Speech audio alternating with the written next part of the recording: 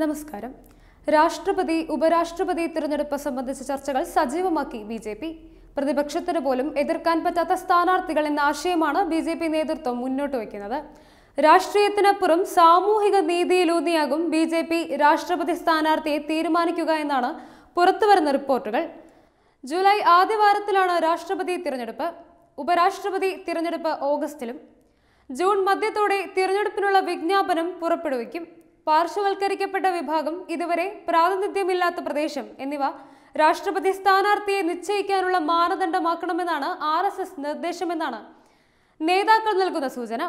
പട്ടികവർഗ വിഭാഗം ന്യൂനപക്ഷം വനിതകൾ എന്നിവർക്ക് മുൻഗണന നൽകിയേക്കും രണ്ടായിരത്തി പതിനേഴിൽ ദളിത് വിഭാഗത്തിൽ നിന്ന് രാഷ്ട്രപതി സ്ഥാനാർത്ഥിയെ കണ്ടെത്തിയ ബി ജെ പി ഇക്കുറി പട്ടികവർഗ വിഭാഗത്തിൽ നിന്നുള്ള വനിതയ്ക്കാണ് പ്രഥമ പരിഗണന നൽകുന്നതെന്നാണ് സൂചന.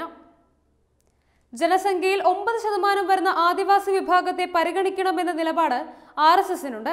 മധ്യപ്രദേശിൽ നിന്നുള്ള ആദിവാസി നേതാവും ഛത്തീസ്ഗഡ് ഗവർണറുമായ അനസൂയ യുകി ഒഡീഷയിൽ നിന്നുള്ള ആദിവാസി താവും താർഖണ്ഡ് മുൻ ഗവർണറുമായ ദ്രൗപതി മുർമു എന്നിവരുടെ പേരുകളാണ് പരിഗണനയിലുള്ളത്. മധ്യപ്രദേശിലെ ചിന്ദ്വാഡ സ്വദേശിനിയായ യുകി കേന്ദ്ര സംസ്ഥാന തലങ്ങളിൽ പട്ടികവർഗ കമ്മീഷനുകളിൽ അംഗമായിരുന്നു.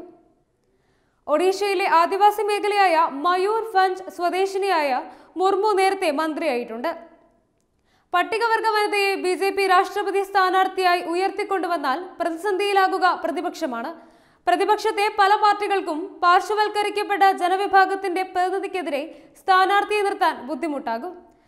വനിതാ പട്ടിക വർഗക്ഷേമം പറയുന്ന പ്രതിപക്ഷ പാർട്ടികളിൽ പലർക്കും ബി ജെ പി സ്ഥാനാർത്ഥിയെ പിന്തുണയ്ക്കേണ്ടി വരും.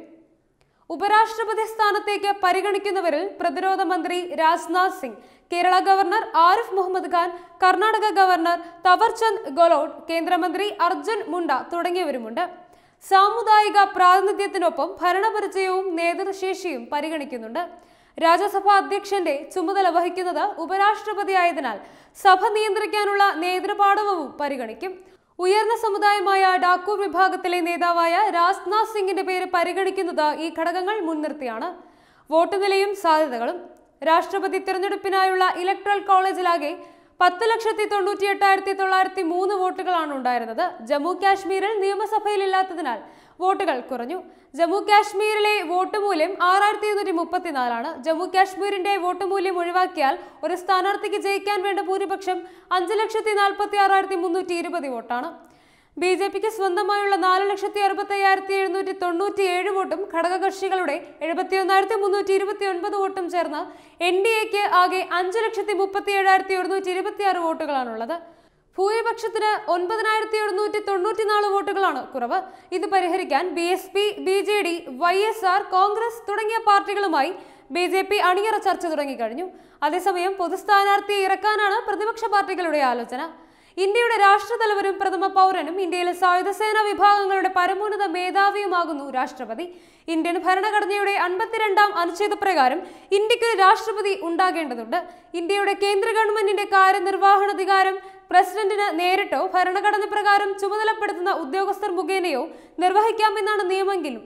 ഇന്ത്യയുടെ രാഷ്ട്രപതി ഒരു നാമമാത്ര ഭരണത്തലവനായി കണക്കാക്കപ്പെടുന്നു. ചുരുക്കം ചില അധികാരങ്ങൾ നേരിട്ട് പ്രയോഗിക്കുന്നതൊഴിച്ചാൽ ഒട്ടുമിക്ക അധികാരങ്ങളും പ്രസിഡന്റിന്റെ പേരിൽ പ്രധാനമന്ത്രി നേതൃത്വം നൽകുന്ന കേന്ദ്ര മന്ത്രിസഭയാണ് കൈയാളുന്നതും നടപ്പിലാക്കുന്നതും. പാർലമെന്റിലെയും സംസ്ഥാന നിയമസഭകളിലെയും തിരഞ്ഞെടുക്കപ്പെടുന്ന ഒരു വിഭാഗം വോട്ടർമാരടങ്ങുന്ന തിരഞ്ഞെടുപ്പ് ഗ്രൂപ്പാണ് പ്രാതിനിധ്യ വോട്ടവകാശ പ്രകാരം രാഷ്ട്രപതിയെ തിരഞ്ഞെടുക്കുന്നത്. രാഷ്ട്രപതിയുടെ താമസ സ്ഥലമാണ് രാഷ്ട്രപതി ഭവൻ. ഇന്ത്യയുടെ പതിനാലാമത്തെ രാഷ്ട്രപതിയായ രാംനാഥ് കോവിന്ദാണ് നിലവിൽ ഈ പദവി വഹിക്കുന്നത്. രണ്ടായിരത്തി പതിനേഴ് ജൂലൈ ഇരുപത്തിയഞ്ചിനാണ് അദ്ദേഹം ചുമതലയേറ്റത്. ഇന്ത്യയുടെ സർവസൈന്യാധിപനായ രാഷ്ട്രപതിയാണ് സുപ്രീം കോടതിയിലെയും ഹൈക്കോടതിയിലെയും ജഡ്ജിമാരെ നിയമിക്കുന്നത്. പാർലമെന്റ് സമ്മേളനം വിളിച്ചു ചേർക്കുന്നതിനുള്ള അധികാരവും പാർലമെന്റ് സമ്മേളിക്കാത്ത സമയത്ത് ഓർഡിനൻസ് പുറപ്പെടുവിക്കുന്നതും രാഷ്ട്രപതിയുടെ ചുമതലയാണ്. നിർണായക ഘട്ടങ്ങളിൽ അടിയന്തരാവസ്ഥ പ്രഖ്യാപിക്കുന്നതിനും രാജ്യസഭയിലേക്ക് പന്ത്രണ്ട് അംഗങ്ങളെ നാമനിർദ്ദേശം ചെയ്യുന്നതിനും രാഷ്ട്രപതിക്ക് അധികാരമുണ്ട്. Web desk Tatwamayi news.